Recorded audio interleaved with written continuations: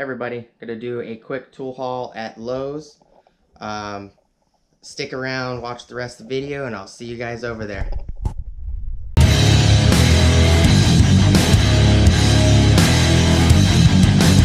So I picked up a quick tool haul from Lowe's.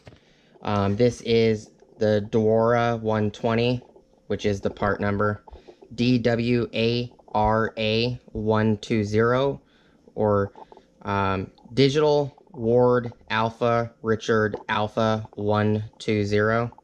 This is the newer um, right angle attachment and it's impact ready, impact driver accessory available. Um, true angle 90 degree. There is two uh two or three other versions of this. There's the the DWARA 100, which is the yellow with the gray head, and then there's the older model, which is the DWARA 50, I believe, which is the black head with the yellow body.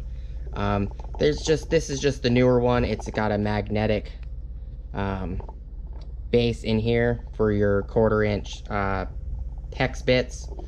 It also states that you can use paddle bits and hole saws, regular bits, long bits, you know, two inch bits or, you know, one inch bits or shorter. Um, you can use uh, uh, bolt drivers, stuff like that. I picked it up because Lowe's is selling it for $24 when online like Amazon is selling it for uh, $49.99 and then other places on Amazon are like $97.99 or something. So cheapest place was um, Lowe's. The DWARA 100 you can get at Lowe's. It's $21. Um, I didn't buy that one at Lowe's because technically Amazon has it for 19 so I'll just order that one online. Not a big deal.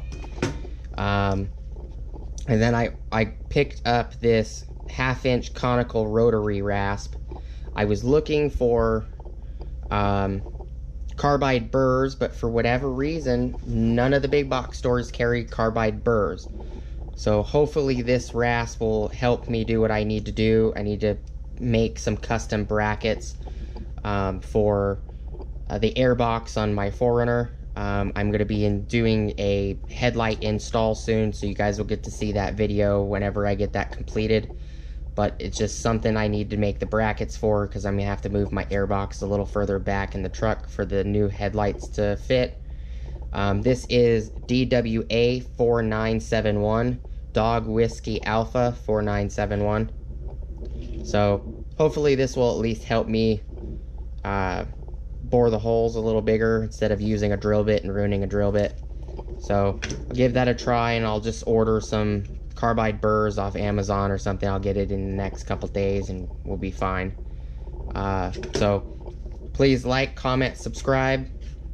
I'll also leave a, a link to uh, VCG Construction um, YouTube channel. He did a kind of in-depth on this specific 90 degree tool.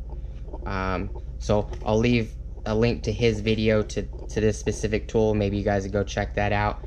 Um, Please like, comment, subscribe, hit the bell notification icon if you'd like to see uh, future updates. Go check out the Amazon affiliate links, and thank you for watching, and I'll see you later.